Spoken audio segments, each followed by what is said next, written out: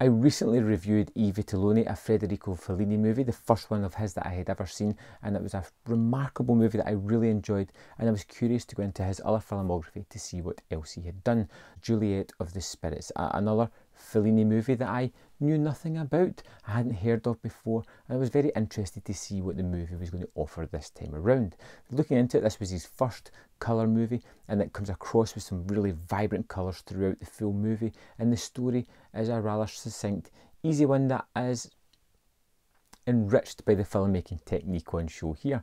It's all about Giulietta, uh, a woman who has, throughout the course of the movie, finds out, comes to terms with, deals with, the fact that her husband is cheating on her. Now, that sounds like a rather uh, small facet for a movie that is over two hours of length, but that is giving it short service because this movie offers so much more. Now, the lead actress, an actress that I, I can't say that I've seen in anything else before or really taken notice of before, gives an absolutely outstanding performance as Giulietta in this movie. She has this ever ready smile that is always across her face is there from the beginning of the movie to the end and the, the wealth of acting on show here really shows throughout the movie because at the start they are warm friendly curious smiles. It's always the same but there seems to be a different emotion behind everyone and as you get to the end it's a more somber sadder smile that's there. And it's just truly masterful work from this actress who, who is very introverted who tries to keep everything inside as all these crazy things are going on round about her that she just won't let really affect her on the outside where it is deeply resonating on the inside with her. You know she has this really nice lifestyle. She has this nice group of friends and, and support agency round about her. Uh, but the one thing that she relies on most the one thing that she loves the most is gregor her husband. And she is starting to feel as if something's not right there at the start. And, and there is also other kind of elements of mysticism. She looks into like tarot cards, palm readings, things like that. There is imaginations run amok as she psychologically comes to terms with what's going on. There is crazy images and crazy things happening all over the place whether it be dream sequences or whether it just be plain hallucinations as she struggles to deal with this inner turmoil that is happening. I was absolutely mm, like,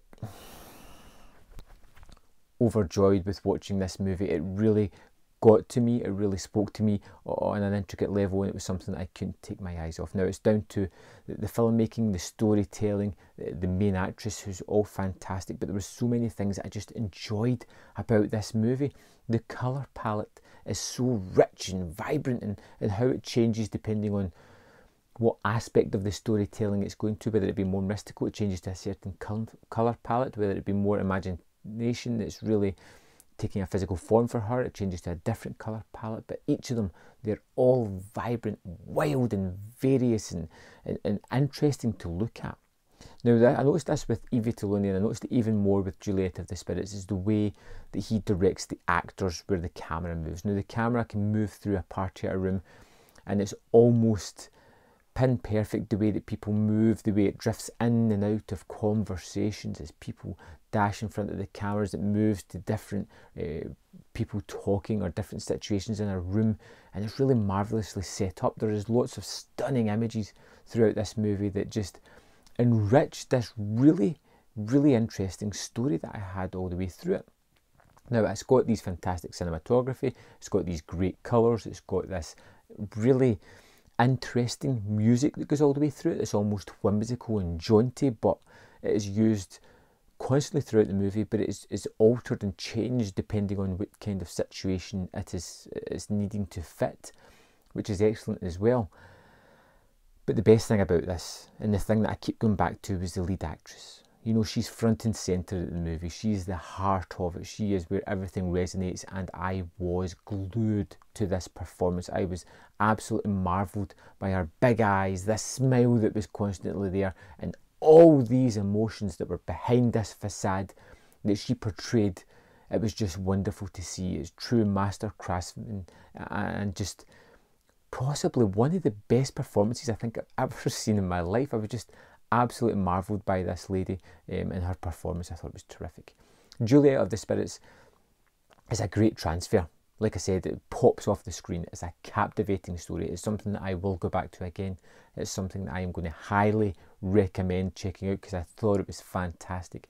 The disc itself has an audio commentary that I haven't listened to as yet, but I will go back to, and it has a video essay which is about 14 minutes long from a professor who basically talks us through some of the, the stylistic moments of the movie.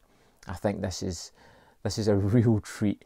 Um, something that if you haven't seen before, you're into these kind of movies or something you're wanting to dabble with, this is a truly fantastic movie that does have a lot there for you to chew on. I think uh, I'm going to see even more when I get back to this movie, which I will be doing fairly soon. So I'd love to know your opinion of this movie. If you've seen it before, let me know in the comment box below your thoughts.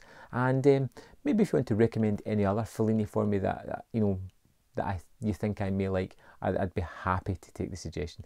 Thanks for watching this review, and I'll see you next time on Man vs Film.